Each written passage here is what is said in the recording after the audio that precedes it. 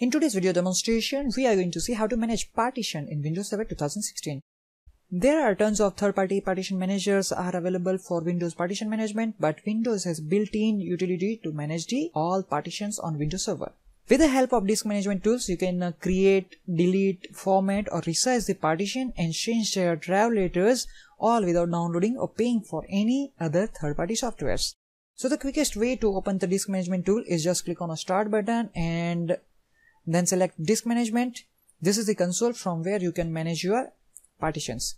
As you are seeing, the windows is divided into two panes. First one, the top one, uh, the top pane shows you the list of your partitions referred to as the volumes and the next one, the bottom one shows you the graphical representation of your storage devices. So when you are creating a partitioning on your hard drive, there is a certain rules which you have to follow like a maximum four primary partitions can be created on any MBR hard disk. The limitation of four primary partition is that when one partition is applied to the system, the master boot record is structured. There is only one primary partition can be designated as active partition and this partition is used to boot the system. BIOS will only recognize the active partition for loading operating system. Other partitions can be recognized. To break the limitation of at most four primary partition, you have to create a three or less primary partition plus one extended partition and there you can create a logical drive. So let's do it. As you are seeing, we have a basic disk and with MBR partition style. Uh, the first partition is system reserve partition and this is the C drive. Uh, on that already we have installed the our operating system. So during the installation process, we create these two partitions. As you are seeing, both partitions are primary partition. So let's create another partition. To create a partition, you just have to click on unallocated space, then right click on it and select new volume. Click on next on uh, welcome to the new simple volume wizard console.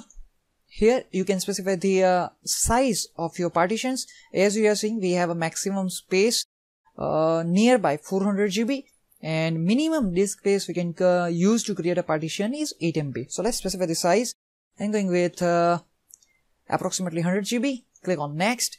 Now here you can specify the drive letter or if you want to mount this partition inside any empty NTFS folder, you can mount it.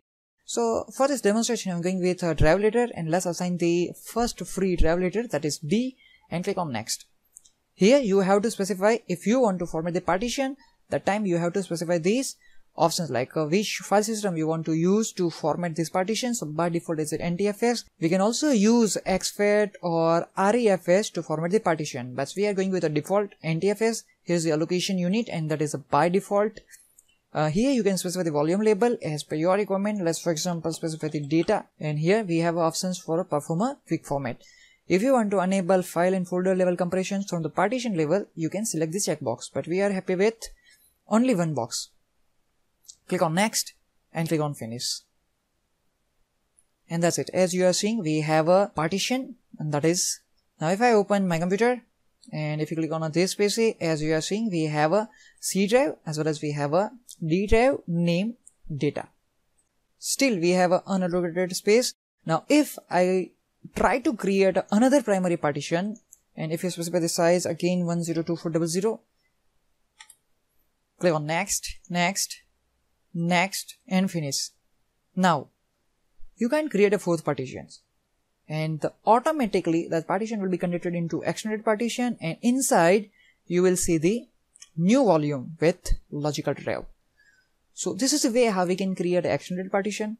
We can create a primary partition and we can create a logical drive. Now let's see how we can format the partition.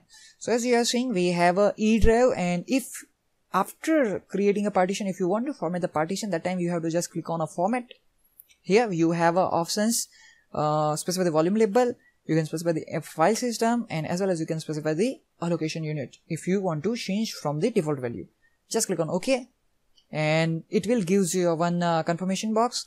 It is saying that formatting this volume will erase all data on this partition backup any data you want to keep before formatting. So do you want to continue? Click on ok to format it and as you are seeing, it's saying the formatting and now we have a partition after the formatting. You can uh, also format the partition by right clicking them on uh, Windows Explorer and then select the format option. So let's go back to our computer and here we have a E drive. Just right click on it and select format.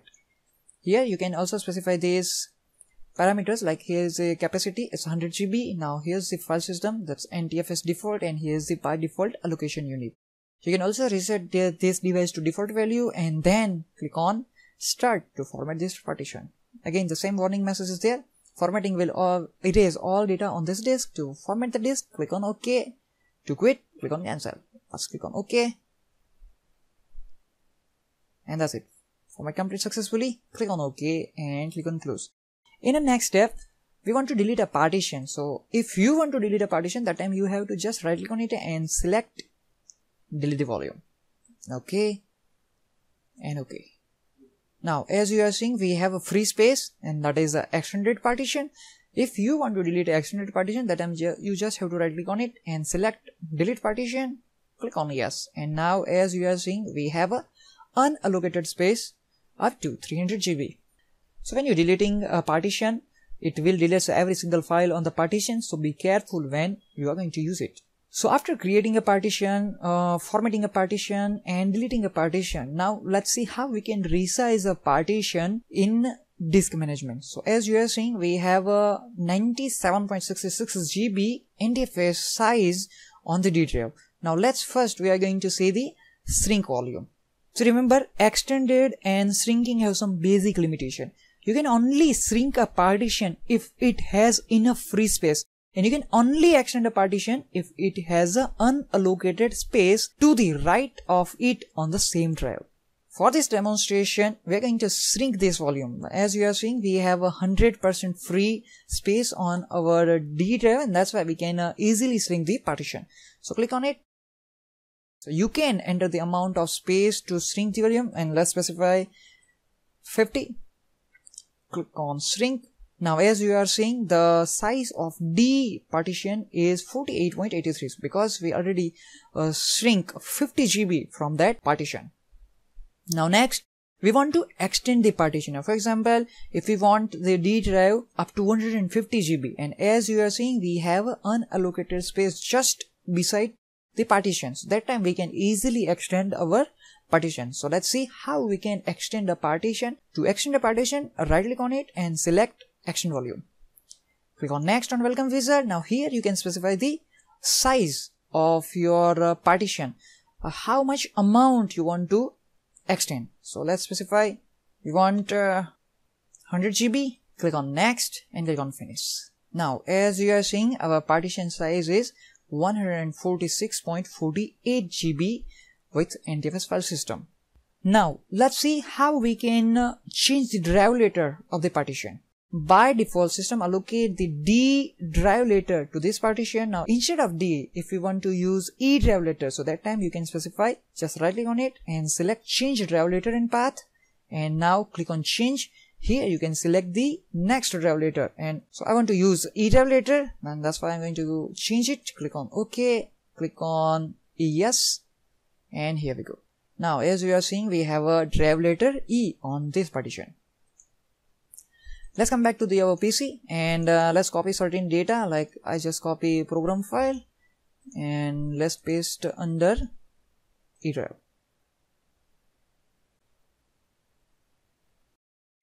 Okay, so we just copy certain data on our D drive. Now let's come back to the disk management. Now I just going to remove the drive letter from the partition. Okay, remove it. Click on yes. And now if we open a Windows Explorer and if you click on a, this PC as you are seeing now we do not have a uh, E partition that is a data partition is not available over here. Now let's create a one mount point because we want to mount the partition into empty NTFS folder. Specify the name that's data.